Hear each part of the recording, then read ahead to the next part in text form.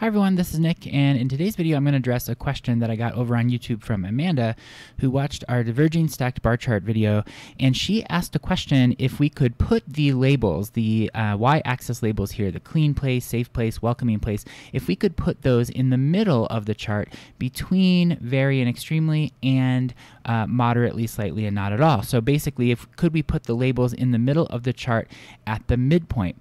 Now, I don't know if you would want to do this um, for survey data like this because I think it can be kind of important to make sure that the entire scale of the survey is shown in sort of a single continuum. Um, but of course, it is possible. There's so many possibilities uh, with Excel. So I'm going to show you what it might look like if we put those labels in between uh, the ratings at that midpoint, at that diverging midpoint here. So you have uh, my chart right here. This is my uh, data source, my data table here. Go back and watch the diverging stacked bar chart video.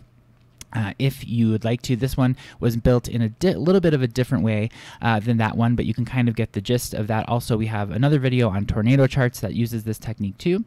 So what you need to do if you want to add um, the middle category here, we need to add a data series. So I'm going to add this data series over here. I'm going to call it labels and this could be any random value but what you need is you need the bars uh, the width to be big enough so that they will fit your category label so let's go ahead and say 60% here and we'll just try that uh, to test it out and then what you want to do is copy this value down the entire column so it's going to become a new data series. In the chart, we're going to right click and select data so that the select data source menu pops up. We're going to add a new series and I'm going to point to the labels here and then the series values we're going to give that new we're going to push enter and now we have a new series of data here uh, in the chart. You can see these green blocks right here. They come at the very end of the chart. Now we want to move them into the middle. So all we need to do here on the select data source menu is use this up arrow to position it exactly where we want. So in this case, I'm going to say that we move it up right above the very category. Perfect. And now you can see it's now moved to the middle of our chart. I'm going to push OK. And now what we're going to do is I'm going to clear the color here. We're going to make this no fill. So over on the Format Data Series menu, we'll say no fill. We're going to add data labels. Now our data labels pop up. Of course, the 60% is arbitrary. We just need this uh, column for spacing. I'm going to go over to the Format Data Label menu open the label options, we're going to unselect value, and we're going to select value from cells. And now the data label range box pops up. We're going to say we want it to point to all of our Y values, our, our label, our survey item labels. Now we're going to push OK, and now you can see our labels are right in the middle of the chart. Now you can see they, you could, you know, work with the sizing of the chart a little bit. Uh, you can also see some of the colors have um, changed in my chart, so you might have to just go ahead and just update uh, the color. This would be the invisible series here. So I'm going to make sure that's no fill.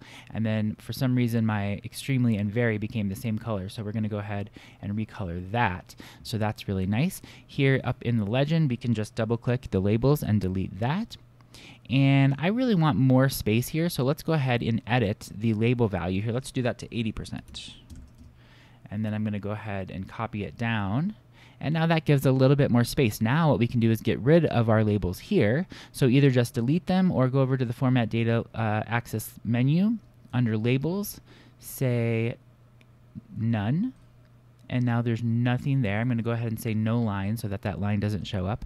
Now in this case, uh, we would definitely want to label uh, most of our bars here. If we wanted to do that, we could do that uh, because there's no real axis here when you do a chart like this.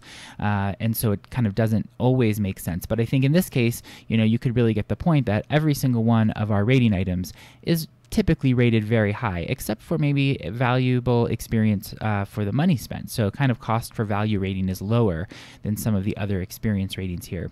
The other thing that I might change on a chart like this is I probably just get rid of the legend and we would probably enter text boxes in this chart so that we could just um, kind of manually put in the legend. It doesn't really make sense to have this moderately be here at the middle. I really want these labels to sort of be closer to where the data are in the chart. And so that uh, makes it a little bit easier for people to read. So I'd probably just delete this and then go up and insert some text boxes like that Um, and I won't do that here for you, but you can get the you can get the point there. All right, so I hope if you like this video, please give it a thumbs up. Thanks, Amanda, again for the question. Uh, it's really cool to sort of figure out how to do all of these things in Microsoft Excel and PowerPoint. And of course, you can do the exact same thing in PowerPoint. Uh, if this chart was in PowerPoint, we would just right click the chart and then click Edit Data. That Source Data menu pops up, and it's just basically an Excel spreadsheet that's embedded inside of your PowerPoint chart. Or, of course, you can always make the chart here, copy it, and then paste it over into your PowerPoint slide.